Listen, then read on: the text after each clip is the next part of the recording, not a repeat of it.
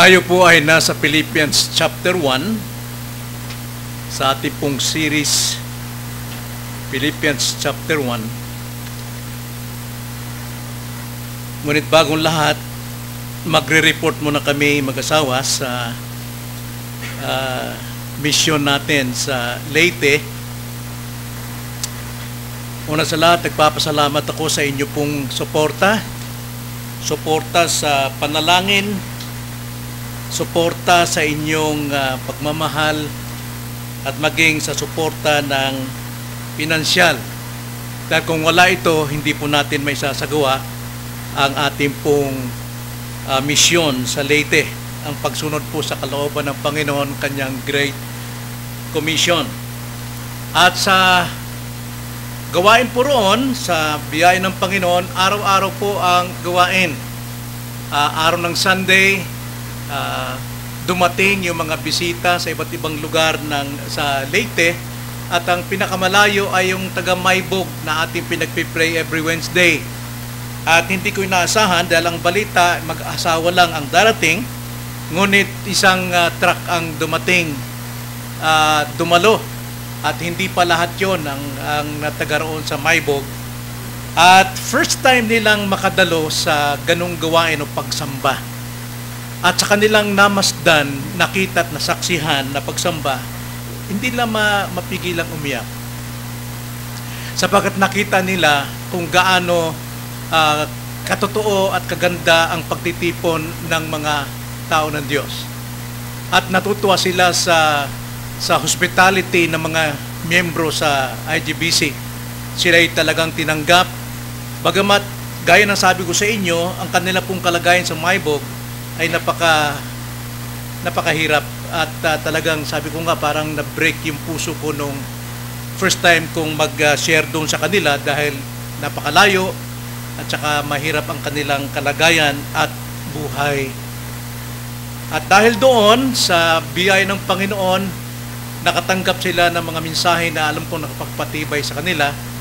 At yun nga ang kwento, hanggang sa bahay nila talaga nagkukwentuhan sila na umiiyak sila habang nagkukwentuhan dahil nga nakita nila kung gaano kalaga ang pagsamba, ang nandun mismo kasama sa pagtitipon, na feel nila ang presence ng ating Panginoon. At sa mga Bible studies naman, mga kapatid, araw-araw po tayong sinisingil ng mga kapatid doon maging sa huling uh, uh, araw namin, may nag-request pa. Itong mag-asawang ito, dati itong nang, manguusig sa kanilang pamilya, sa kanyang magulang, sa kanilang magulang at sa mga kapatid. Pero ngayon, sila po ang nag-request na magkaroon ng Bible study. Nais nilang sila'y pagpalain at maging ang kanilang tahanan ay pagpalain ng ating Panginoon. Sa matagumpay po ang ating pong uh, doon, ang mabigat lang, medyo tumaas po yung pamasahe roon. Dahil yung minimum nila sa pot-pot, alam yung sidecar, 40 pesos. Malapit o malayo, 40. How much more sa tricycle? At lalo na sa mga sasakyan na inarkilahan natin sa tuwing tayo mayroong Bible study sa iba't ibang lugar. Kaya salamat sa inyo, salamat sa iglesia, salamat sa Panginoon sa inyong suporta at pagmamahal at panalangin. Kaya purihin ang Diyos. Isang magbubuli, isang mang mangusik, ngayon ay sila na ngayon ang inuusik. So Philippians chapter 1, verse 27 to 30. Pinat, pinamagatan ko itong kung ikaw ay kristyano, tiyak mayroon kang pambubuli. Kung ikaw ay kristyano, tiyak mayroon kang pag-uusig. Last week, nabalitaan natin na ang Hamas ay nagpaulan ng 2,000 rockets sa Israel. Walang pasubali. Bigla na lamang lumusob itong Hamas, mga terrorist group sa Islam upang pahirapan at usigin ang bayang Israel. At ang Israel ay gumanti sa kanilang pag-atake. At mayroong namatay sa Israel na dalawa noong sila ay nagpaputok ng 2,000 rockets. Pero nung gumanti ang uh, Israel naman, 120 ang agad na namatay at marami po ang mga nasaktan sa kanila. At itong Hamas ngayon nagreklamo sa United Nations. Tignan nyo, tignan nyo ang Israel. Sila yung mga pumapatay. Sila yung mga masasama. Pero tignan natin muna ang kasaysayan ng Hamas, mga kapatid. Sino ba itong Hamas? Sa Bible po, mga kapatid, noong mapalaya ang bayang Israel sa pagkaalipin sa Ehipto for 450 years na sila'y pinahirapan, sila po ay pinangakuan ng Diyos ng Promised Land, kung tawagin ay Canaan o Kanaan. At ito'y kanilang pinasakop ng Diyos. Ito'y pinagkaloob ng Diyos sa kanila na kailangan kapag ka ito ay inyong sinakop, palayasin ang lahat ng nakatira, mga inhabitants. Pero hindi sumunod ang bayang Israel. Hindi nila pinalayas ang lahat na nakatira sa Kanaan, kundi nag-iwan sila ng ilang mga grupo. At bumilang ng taon, maraming taon ang lumipas, ang grupong ito ay lumaganap kung tawagin ay Palestine, the Philistine. No longer Canaanites, but they became the Philistine. At itong Pilestinong ito, mga kapatid, dahil sila'y lumakas, yumaman, ito yung naging bully sa buhay ng Israelites. Kaya hirap sila ngayon na palayasin ito sapagkat sila'y mas malaki. Sila nag-occupy ngayon sa lupang kanaan. Napakalaki nung kanaan.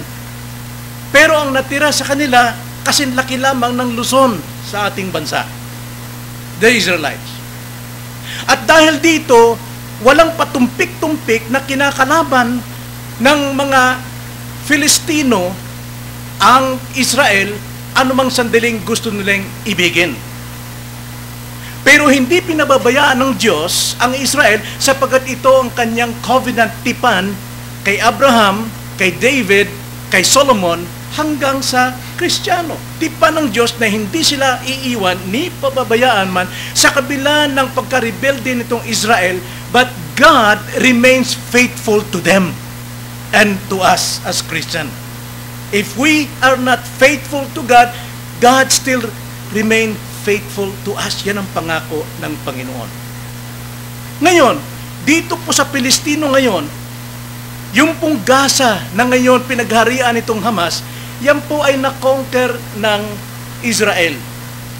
Pero, diniklara sa United Nations na sila pa rin mayari. Kaya ang nangyari, nag-aagawan sila. Pero actually, ito ay lugar na ng Israel. At dito po, lumabas ang grupo ng mga Hamas, mga terorista na walang kaginsa-ginsa, kanila itong binuli itong Israel at ito'y binomba nila at hanggang ngayon sa kasalukuyan naroon pa rin ng tigmaan. Pero ang unang bumomba ay ang Hamas, hindi po ang Israel. Ang masakit lamang para sa akin, binasa ko gabi yung ilang statement nitong si Prime Minister ng Israel, si Benjamin uh, Netanyahu.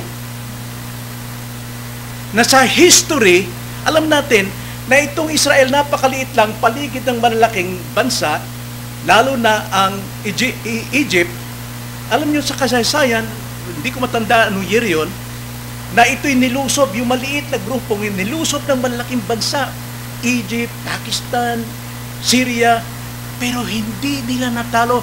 Within six days, natalo sila.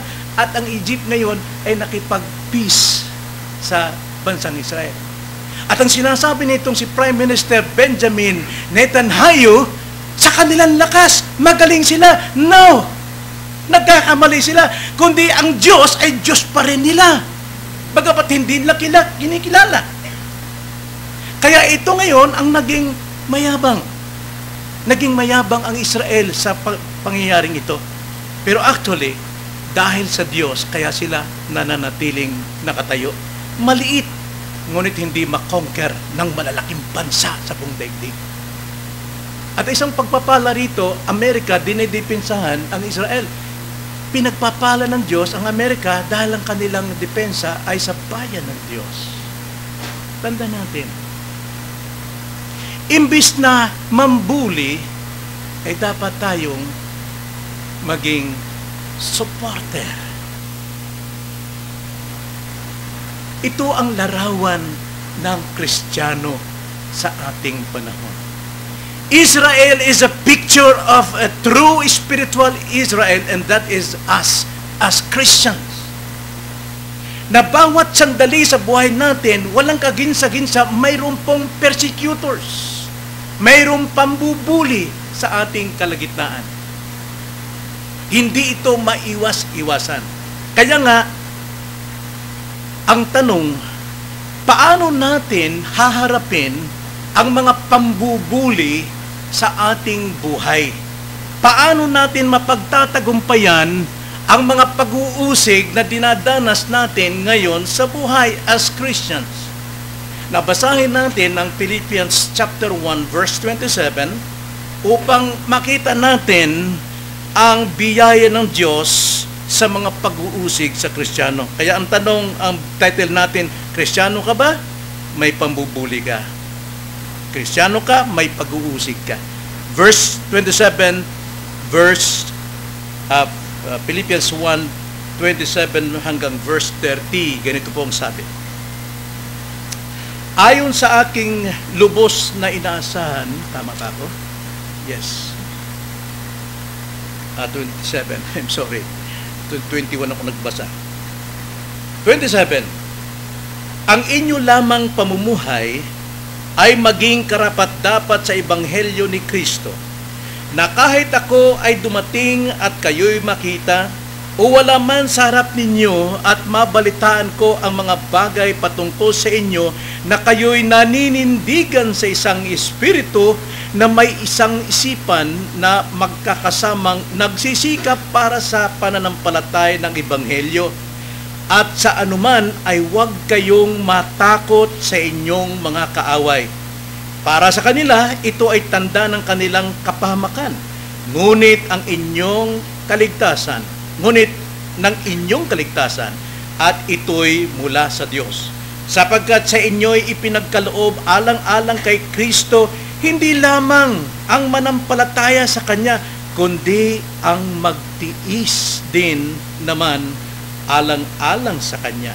Yamang taglay ninyo ang gayon ding pakikipaglaban na inyong nakita sa akin at ngayon nababalitaan ninyo tungkol sa akin.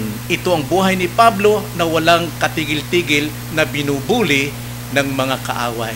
Tayo manalangin. Panginoon, tunay ng sino mang nagnanais mamuhay ng kabanalan, hindi po maiiwasan na mayroon pong mga pag-uusig.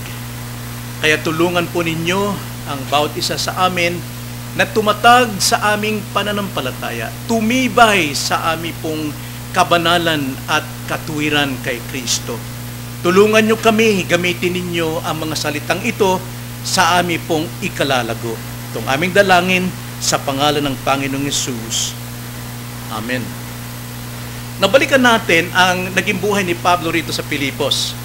Pagkatapos ng maraming mga pangyari at nabilanggo siya, na alam natin, hindi magsasalita si, si Pablo nang wala pong nangyari sa kanyang buhay. Na sabi niya, naiipit siya sa dalawa. Ang nais niyang makasama si Kristo na kailangan niya ay ng uh, pinakamahigit para sa kanya, ngunit siya po ay mayroon ring kaloobang gustong manatili pang buhay na siyang pinakakailangan sa mga kapatiran. Kay si Pablo, masabi natin, maring hirap siya sa kanyang sarili, sa kanyang pagkabilanggo. Maring nararamdaman niya ang kanyang kamatayan. O nakikita niya na maaring matapos na siya. Well, hid, ang mga ma, mga ngaral o pastor hindi po ligtas sa karamdaman at hindi ligtas sa kamatayan.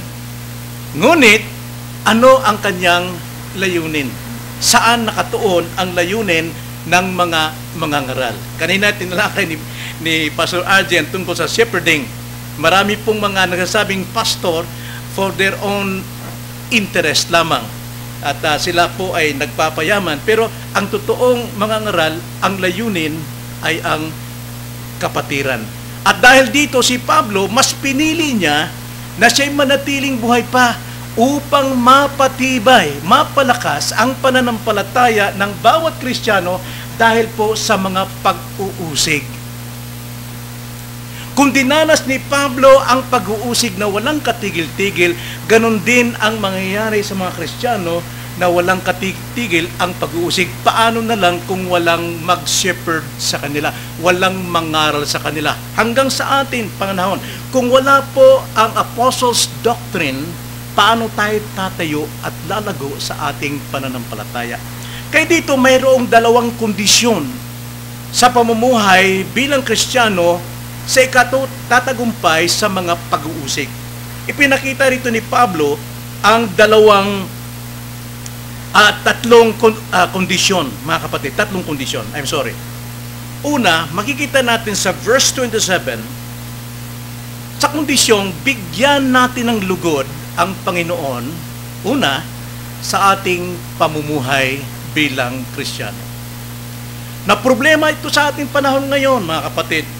Marami pong nagsasabi, I'm a Christian. Ako po isang Kristiyano, matagal na akong Kristiyano. Pero tignan natin ang buhay. Nasaan ang buhay? At yun ang nais pagdiinan dito ni Pablo na sa kabila po ng kanyang desisyon na manatili siya na buhay pa sa kanilang mga sarili, ang sabi ni Pablo sa 27, ang inyo lamang, may kondisyon, ang inyo lamang pamumuhay ay maging karapat dapat sa Ebanghelyo ni Kristo na kahit ako ay dumating at kayo'y makita o wala man sa harap ko o harap ninyo at mabalitaan ko ang mga bagay patungkol sa inyo, kayo'y naninindigan sa isang espiritu na may isang isipan na nagkakasamang nagsisikap para sa pananampalataya ng Ebanghelyo. Na sinasabi ni Pablo,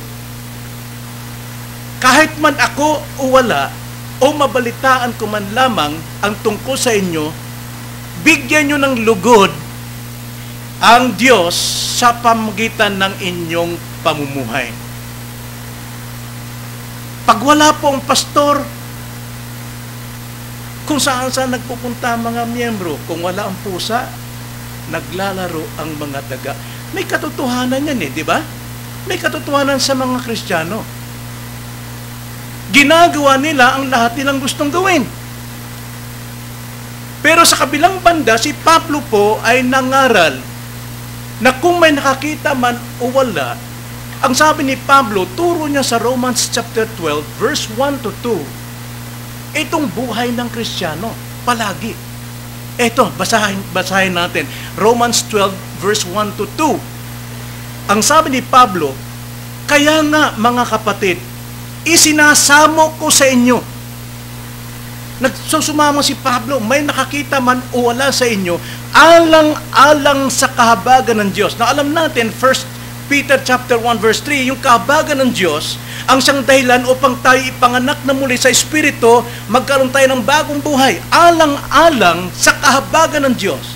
Sa lahat ng Kristiyano, hindi tayo nabubuhay at hindi tayo naliligtas kung wala ang kahabagan ng Diyos alang-alang sa kabagan ng Diyos na inyong ialay ang inyong mga katawan na isang handog na buhay, banal na kasiyasa sa Diyos na siya ninyong makatwirang paglilingkod. Paglilingkod po dyan sa English is worship. So meaning to say, may nakakita man o wala, wala man ang pastor nyo, o nakandyan man pastor nyo, ipakita ninyo ang inyong pagiging ligtas na dalhin ng katawan na buhay sa pagsamba sa paglilingkod. Napakaraming Kristiyano. Kapag wala sa iglesia, kung saan saan nagpupunta, sa sinihan, sa mall. Kaya nga, sabi ko nga, pagkabago mag-apply ang isang miyembro dito sa atin, sa abroad, bigyan mo ko ng sampung reason why. Bago papayagan. Sapagkat tiyak sira ang iyong church life. Yan ang problema sa abroad.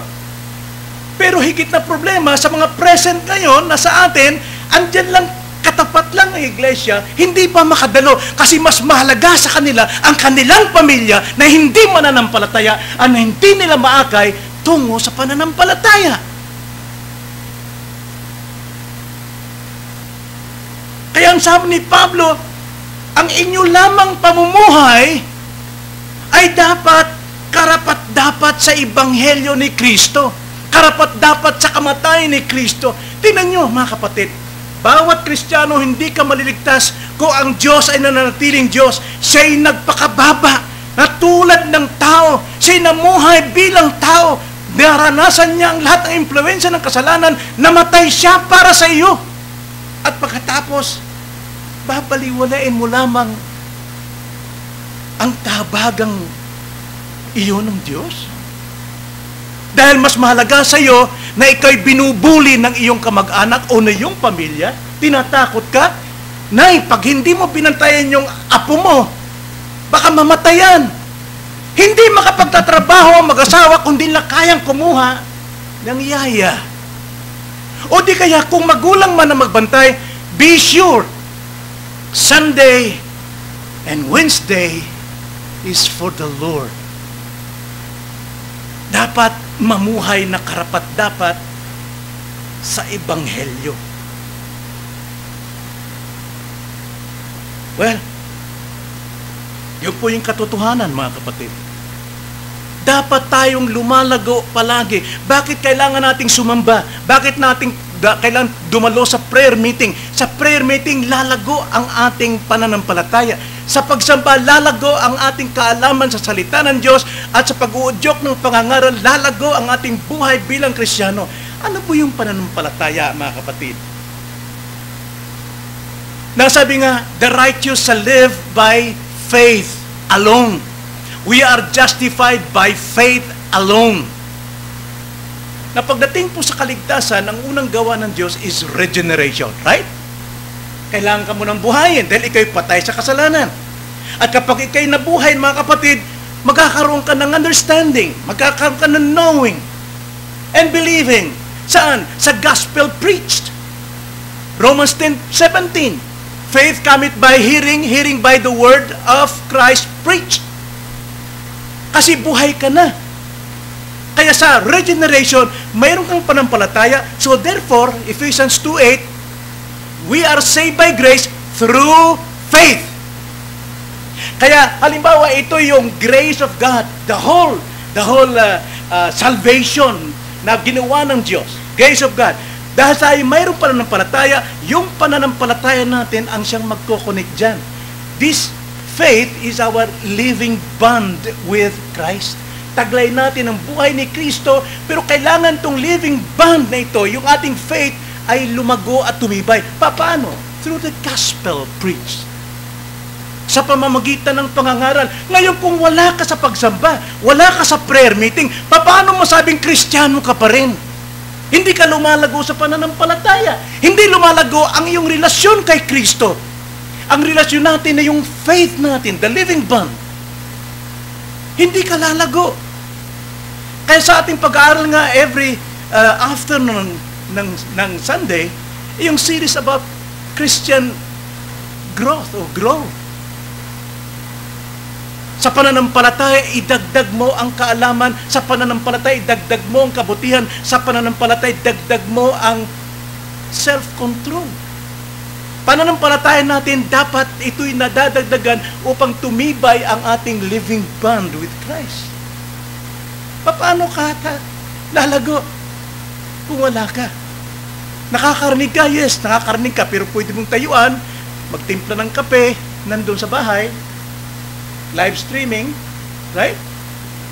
Ginawa ko yun eh. Noong ano, pandemic. Kaya huwag sabihin din yung ginagawa. Katulad ngayon, kanina may naka-open siguro, wala tayong Facebook kanina. Kasi ngayon ang layunin natin na uh, umaten sila. Pero kung nandyan ka personally, ikaw ay templo ng banal na Espiritu. Magkakasama tayo rito. Na tulad nung yung langis ni Aaron na binungo sa kanyang ulo at dumaloy doon sa breastplate. Yung breastplate na ito tumutukoy sa 12 tribes of Israel, sila ay nagkaisa dahil po sa banal na Espiritu. At tayo rin, nandito tayo sa presensya ng Diyos. Kristiyano ka man o hindi pa Kristiyano, kabilang ka rito sa pagpapala. Kaya nga, may nakakita man o wala, dapat ialay ang ating katawan as a living body, living body bilang ating paglilingkod o pagsamba sa Diyos. Huwag tayo makiayon sa ugali ng sanlibutan. Balikan natin Romans 12 verse 2 naman. As a Christian. Ngayon, inihandog na natin ang ating sarili o hindi natin inihandog ating sarili sa pagsamba, pan- ang pa- sunod ni Pablo, huwag ninyong tularan ng sanlibutan ito. Ano ba ang isipan ng sanlibutan? Huwag sumamba. Gumawa ng dahilan. Magtrabaho ka araw ng Sunday. Akin pa rin yan. Overtime ka kikita ko dyan. Pero remember this, Sunday is of the, uh, para sa Panginoon. Himiras, Koryos Himiras. Ibig sabihin, pag-aari ng Panginoon ang araw ng pagsamba. Hindi atin yan. Kaya kapag ka ginagamit natin ng, ng araw ng Sunday for our own, pagnanakaw yan sa Diyos. Ginagamit mo yung, binigyan ka na nga ng anim na araw, 24 hours a day, anim. Ang Sunday dapat holy yan, separate from six days. Kagamit-gamit sa Diyos para sa Diyos. Pero, ang sabi nga rito, huwag ninyong tularan ang sanlibutang ito, kundi magbago kayo sa pamamagitan ng pagbabago ng inyong pag-iisip. Ano ibig sabihin niyan? Repent. Change your mind. Kung naugali mo nang hindi dumadalo ng Sunday, na mas mahal mo ang iyong mga anak, mga apo, hindi mo minamahal ang anak mo at ang minapo, pinapahamak mo sila. Imbis na ikaw mag-akay sa kanila, maging asin at ilaw ka sa kanila upang dalhin sila doon sa liwanag ng kaligtasan, eh lalo mo silang minamahal para tumungo sila sa kapamakan. Kundi magbago ng isip upang, dito pa lang, upang mapatunayan ninyo kung alin ang mabuti, kasiyasya at lubos na kalooban. Sa English kasi ang gandang pagkasabi eh. So that you may prove what the will of God is. Mapatunayan mo kung ano ang kalooban ng Diyos, that which is good and acceptable and perfect. Hindi po basta tama, perfect. Kailangan pong magbago tayo. Mga kaibigan, mahalin natin ang Lord's Day. Nakatingin ang Diyos sa Lord's Day. Huwag natin gamitin sa ating pansariling kapakinabangan. Yan po isang uri ng pagnanakaw sa Kanya. Binigyan na tayo ng buhay, binigyan na tayo ng lakas, binigyan tayong pamilya, binigyan tayo ng trabaho, binigyan tayo ng lahat ng bagay, binigay sa atin ng anim na araw, kasama ang 24 hours a day, tapos kaangkinin pa natin ang kanyang araw. So, buhay na may pinanindigan tayo dapat. Sabi nga ni Paul sa ating text, uh, Philippians 1.27, ang inyo lamang pamumuhay ay maging karapat dapat sa Ebanghelyo ni Kristo na kahit ako'y dumating at kayo'y makita o wala man sa harap ninyo at mabalitaan ko ang mga bagay patungkol sa inyo na kayo'y naninindigan sa, sa Espiritu. Ang sabi diyan plural eh. Yung pronoun dito eh, personal pronoun is plural. Kayo, hindi lang ikaw, hindi lang si Pablo, kundi tayo mga iglesia, tayo mga miyembro ng iglesia. Patungkol sa inyo na kayo'y naninindigan sa isang espiritu, isang espiritu tayo, isang mind, na may isang isipan, na magkasama-samang nagsisikap para sa pananampalataya ng ibang Elyo. So, ibig sabihin, naninindigan tayo sa isang espiritu, naninindigan tayo sa isang diwa o isipan, naninindigan tayo magkasama at pagsisikap, naninindigan tayo sa panampalataya, at naninindigan tayo sa pakikinig ng Ibanghelyo.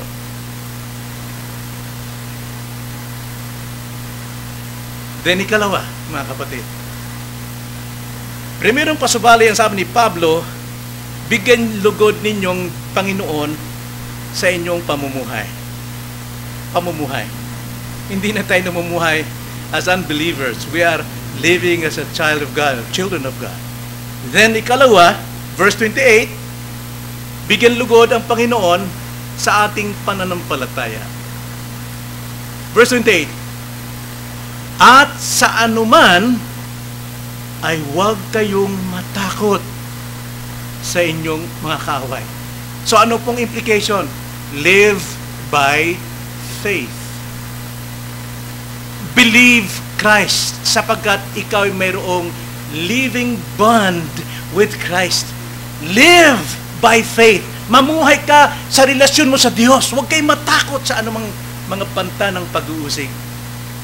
At sa anuman ay huwag kayong matakot sa inyong mga kaaway para sa kanila, ito'y tanda ng kanilang kapamakan. Mga kapatid, intindihin natin ito. Kung tayo pinipressure ng ating mga kamag-anakan, gumagawa silang dahilan para hindi tayo makadalo, para hindi tayo makapamuhay ng isang mananampalataya. Mga kapatid, ang sabi dito, tanda nila sa kanilang kapamakan. Hindi ba kayo naawa niyan? Hindi ba kayo naaawa sa inyong nanay, sa inyong tatay? Talagang nagturo ako ng nag-Bible study kami sa Purok 4 sa bahay ni uh, Gingging. Yung nakikinig doon sa labas, kasi hindi kami magkasa sa loob eh. Tapos yung isang miyembro doon, yung bulag dati, ngayon eh nakakita na, kaya tong tuwa. Wala siyang kapagod-pagod, bumili ng amplifier para lang uh, may, may pahayag yung yung uh, salita ng Diyos. Bulag yun si Boy dati. Tatay ni Albert, tatay ni Edward. Ngayon nakakakita na. Pati yung anak niyang si Erwin, nakakakita na rin. Dahil naoperahan sila libre, mga kapatid. Ngayon, yung nakikinig doon, tumayo lang, ayon sa kwento nung sa labas, tumayo lang at pumunta roon sa tindahan. Inusig agad, binulig agad. Alam mo, Butat, pag nalaman ng pari yan, tatanggal ka talaga. Pag nalaman yan, sabat ka sasama-sama dyan. Walang ginagawa yan. Nagsasaya lang ng araw yan. Okay? Ano nangyari ng tao? Hindi naniwala, bumalik uli. Bumalik siya ulit, nakinig, tinapos yung pangangaral. Kaya ang sabi ni Pablo rito sa atin, at sa anuman ay huwag kayong matakot sa inyong mga kaaway. Para sa kanila, ito ay tanda ng kanilang kapahamakan. Napakakabigat nun, mga kapatid. Alam niyo pong pag-uusig sa atin, sa ating buhay, sa ating pamilya, dalawang klase para sa akin. Isang pambubuli, pananakot, pag-uusig, at isang pambubuli na kumikita ka.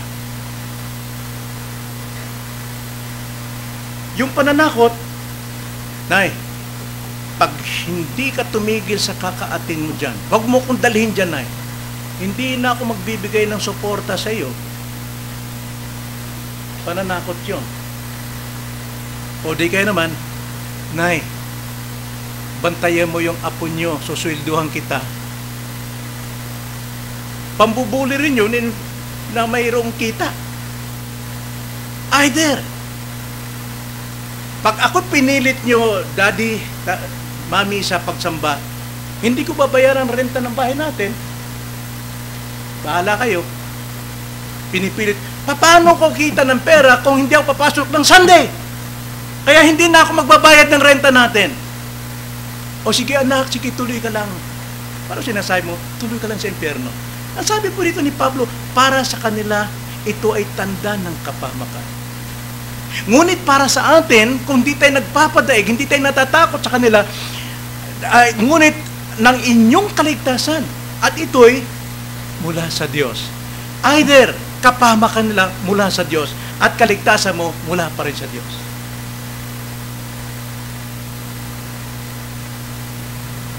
Kaya nga, bigyan lugod ang Panginoon sa ating pananampalataya. Live by faith bigyan mo ng lugod ang Diyos sa ating relasyon sa Diyos. Patibayin ang relasyon sa Diyos. ang ating living bond, buhay na dugtungan kay Jesus, kay Jesus Christ. Huwag tayo matakot sa mga kaaway. Sino nagsasalita? Si Pablo. Kanina lang sa ating scripture reading, binasa ni Brother Daniel ang testimony, second testimony ni Paul sa kanyang conversion. Ang una ay doon sa Acts chapter 9 at ngayon sa Acts chapter 22. Second testimony niya. At si Pablo sa salita rito, huwag kayong matakot sa inyong mga kaaway. Why? Sapagkat danas niya ito eh. Naranasan niya ito kung paano niya sinabi na kanina, kung paano niya pinabibilanggo ang mga kabataang babae, kabataang lalaki, matatanda, at pinapatay pa si Stephen. Pero anong nangyari sa kanya? Mga kapatid, ito basahin natin kanyang testimony sa Acts chapter 9 verse 3 hanggang 5. Kaya ang sabi ni Pablo, huwag kayo matakot sa inyong mga kaaway. Verse 3, Sa kanyang paglalakbay, dumating siya sa malapit sa Damasco. Biglang kumislap sa malibot niya ang isang liwanag mula sa langit. Ang sinabi ron sa chapter 22, biglang kumalat ang isang napakalawak na liwanag na sila siya'y nabulag. At ang sabi dito sa verse 4, bumagsak siya sa lupa at nakarinig ng isang tinig na sa kanya nagsasabi, Saulo, Saulo. Saulo po ang kanyang pangalan noon bilang pangalan ng Hebreo. Okay?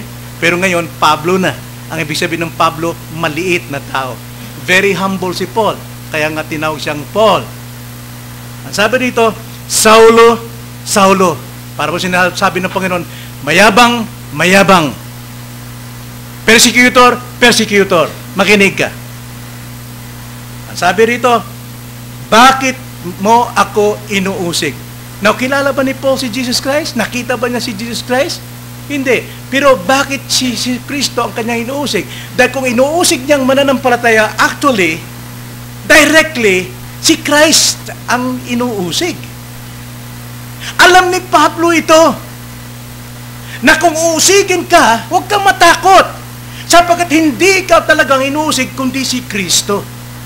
Ang kagandahan lang kay Pablo, siya po'y naligtas sa kanyang pag-uusig. Hindi siya napahamak. At yun ang ating asahan, na kung tayo po'y bulihin o usigan ng ating mga mahal sa buhay, huwag tayo matakot, kundi isaysay pa natin ang katotohanan upang sila maligtas. Sapagkat kung magpapabaya tayo, tayo mismo magtutulak sa kanila sa kanilang kapamakan. Kaya sabi dito, verse 4, bumagsak siya sa lupa at nakarinig na isang tinig na sa kanya nagsasabi, Saulo, Saulo, bakit mo ako inuusik?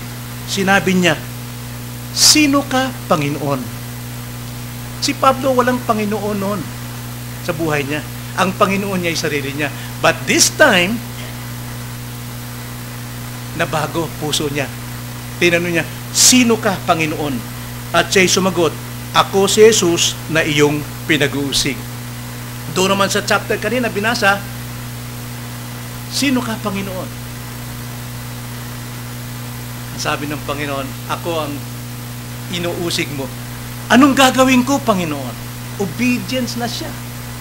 Sumusunod na sa kalooban ng Panginoon. Ang sabi ng Panginoon doon sa chapter 22, ipahayag mo ang Ebanghelyo. Mga kapatid, huwag tayo patakot. Sapagkat ito'y tanda ng kapahamakan ng mga umuusig sa atin. Pero ayaw natin sila'y mapahamak, right? Kaya kailangan natin ang tamang ugali pagdating po sa mga pagsubok.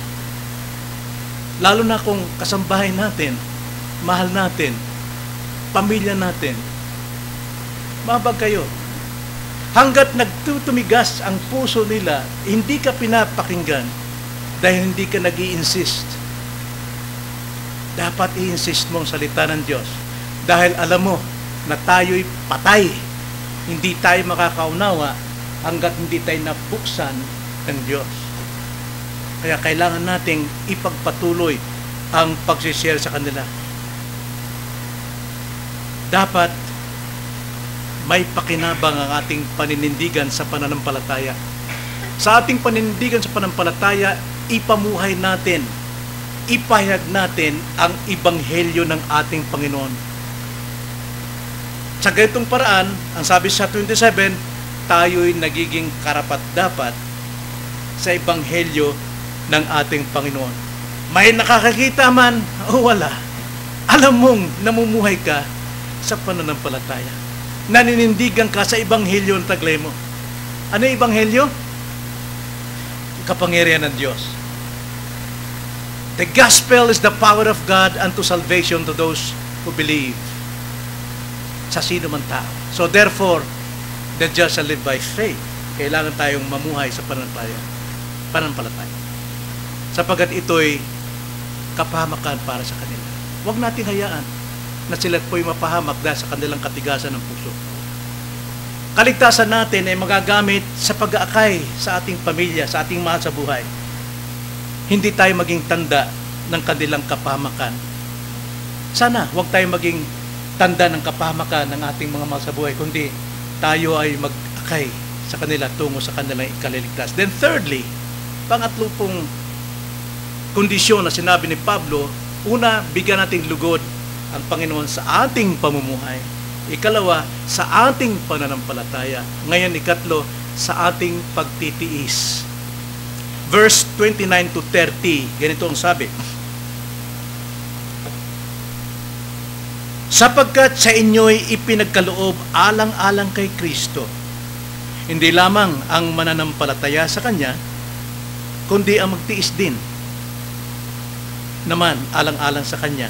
Yamang taglay ninyo ang gayon ding pakikipaglaban sa inyo ng, ng inyo na inyong nakita sa akin at ngayon nabalitaan ninyo tungkol sa akin. Alam niyo, buhay natin, walang pagkakaiba sa mga apostol.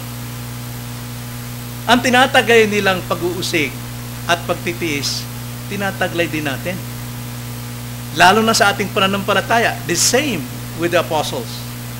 Kaya nga, ang sabi ni Pablo rito, bigyan lugod ang Panginoon sa ating pagtitiis. Sapagat ang ating pagtitiis, hindi atin, mga kapatid. Nakita niya, sa 29, tayo'y binigyan ng panampalataya at ang pagtitiis din ay bigay sa atin. It's a blessing na tayo po ay magtiis. Ang pagtitiis na ito ay kay Kristo. Subalit, sa ating pong matinding ugali na hindi makapagtiis, yung ating laman ang sumisipa para hindi tayo makontrol ng patience ni Christ. Tingnan si Christ, mula sa pagkabata hanggang kamatayan, pasensyoso siya. Siya ay righteous. Si Christ ay righteous. Bakit po? Sapagkat nasa kanyang perfect obedience, passive and active. Pag sinabing passive, mga kapatid, lahat po ng itinalaga, lahat ng propesya sa banal na kasulatan, tinanggap ni Iso Kristo yun ng walang anumang galit o anumang guhit ng di pagsang-ayon. Passive siya ron, binigay niyang buhay. Active naman, yung kalooban ng Ama, tinupad ni Kristo lahat. Aktibo niyang ginagawa lahat ng bagay, lahat ng katuparan ng kalooban ng for the salvation of many kaya nga si Kristo ang ating righteousness. Sa ating pananampalataya, mga kapatid, natupad natin ang buong kautusan at kalooban ng Diyos through Christ. Sapagkat kung sa atin, wala pong maliligtas kung tayo ang magtutupad noong kasulatan at kalooban ng Diyos. Wala pong makagawa nun. Only Christ. At dahil tayo sumampalataya kay Kristo, natanggap natin, ibinis natin ang kanyang righteousness. So therefore, we are justified not with our works, but by the works of Christ. Tayo po inaring ganap. As if, hindi tayo nagkasala, meaning ng justification. Walang makitang kasalanan sa iyo. Para bang hindi ka nagkasala sa simula pa lamang. Dahil nakabalot tayo sa righteousness of Christ. Ang kanyang perfect obedience, passive and active. Siya lamang magagawa niyan. Kaya nga, ang pagtitiis ay pagtitiis ni Kristo na sa atin. Nasa atin ang pagtitiis ni Kristo. Kaya sa ating pagtitiis, lalo na sa ating kapwa, sa ating pamilya, lubusin natin. Usigin ka man, bulihin ka man, takutin ka man, pagtampuhan ka man, maggalit man ang mga anak mo, uh, anak mo, huwag kang tumigil, magtiis. Pagtiisan sila. gaya ng pagtitiis ni Kristo sa iyo, na huwag kang tumigil sa kanilang dalhin sila sa liwanag ng katotohanan sapagkat katotohanan lamang siyang makapagpapalaya sa kanila. Kahit na sila'y pinakamataas ang pinag-aralan, higit pa sa presidente, pero ang karunungan na yan, panlupa lang yan, kasamang imamamatay sa kanyan. But ang karunungan nagmumula sa Ebanghelyo kay Kristo dahil sa iyong pagtitiis na mag-share sa kanila, yan ang magbibigay sa kanila ng buhay. Yan ang totoong kaligtasan. Pagtitiis ay kaloob ng Diyos, hindi atin ito. All we have to do is to apply it. I-work out ang ating pagtitiis. Again, basahin natin verse 29. Sapagkat sa inyo'y ipinagkaloob alang-alang kay Kristo, hindi lamang ang manampalataya sa Kanya, kundi ang magtiis din naman alang-alang sa Kanya. Faith cometh by hearing, hearing by the words of Christ. But patience comes from Christ's crucifixion, Christ's death para sa atin. Kaya nga, mapalad tayo na nagtitiis sapagkat sa pagtitiis natin, madadala natin ang ating mga mahal sa buhay. Mauunawaan natin ang kanilang kalagayan. Maunawaan natin ang kanilang hindi pagsang-ayon sa atin sapagkat galing tayo dyan. Pero huwag tayong matakot, sabi ni Paul. Huwag tayong matakot. Ang kaaway natin, maaring kapamilya natin, kamag-anak natin, huwag tayong matakot dahil ang kanilang kinakalaban ay ang Panginoon. It is hard for us to kick against the goat. Mahirap tayong sumipa sa talasok, tayo lang mapapahamak. Ganon din ang ating mga mahal sa buhay. So, akayin, pagtiisan natin sila. At ang pagtitiis natin, hindi para sa ating kapakinabangan. Dahil kung sa atin, mga kapatid, anong sasabihin natin pag hindi nakapagtiis? Naku, sawa na ako dyan. Naku, pastor, tagal ko na. Inaakayan, ilang taon na. Simula akong maging kristyano, ilang, ilang taon ng kristyano? Sampung taon, 15. Mga kapatid, yung nanay ni Agustin, Saint Agustin, the father of Reformation, 25 years pinagpipray anak niya dahil si Agustin ang Diyos niya ay sex. At iba't ibang reliyon pinapasok niya. But dahil nagbunga ang panalangin ng kanyang nanay, siya ngayon ay tinitingala ng lahat ng Kristiyano, lahat ng books niya ginagamit dahil ito ay may kapangyarihan sa kaalaman ng bawat isa. Okay, tumigil. Limang taon pa lang Kristiyano, papanalangin, nagtitiis, uh, nag, tumitigil lang.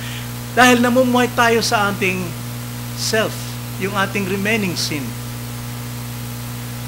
Pero kung mamumuhay tayo sa pagtitiis ni Kristo, which is a gift from Christ, kaya natin.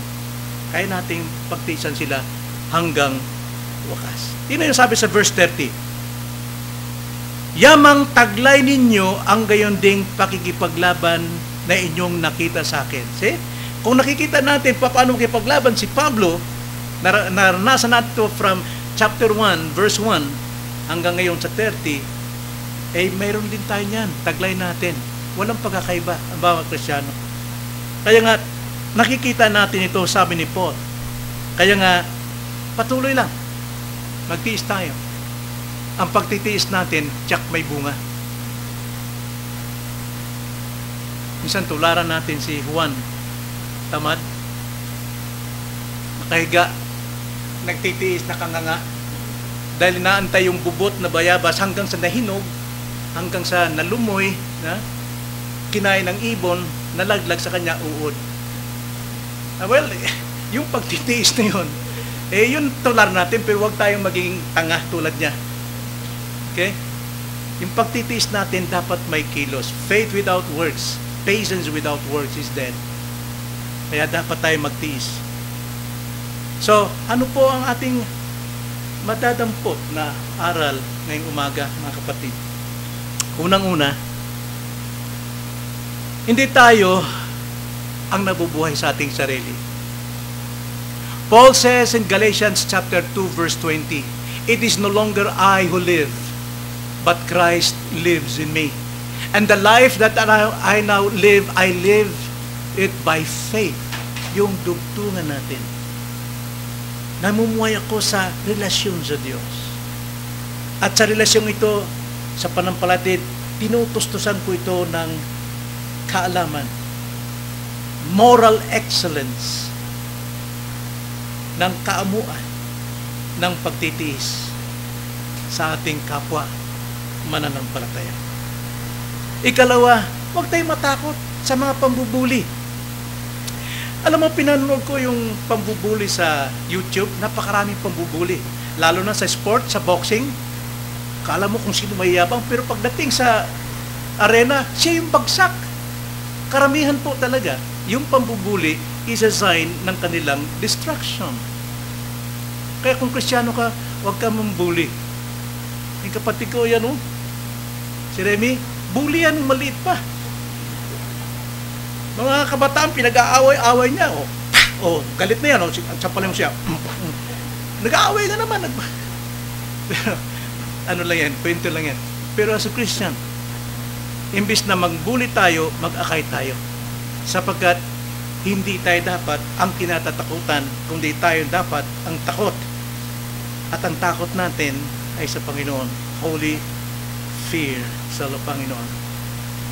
So, as a Christian, ang masasabi ko lang, sa ating pagdurusa, sa ating mga paghihirap, imbisi kalungkot natin, ikawalan natin ng pag-asa.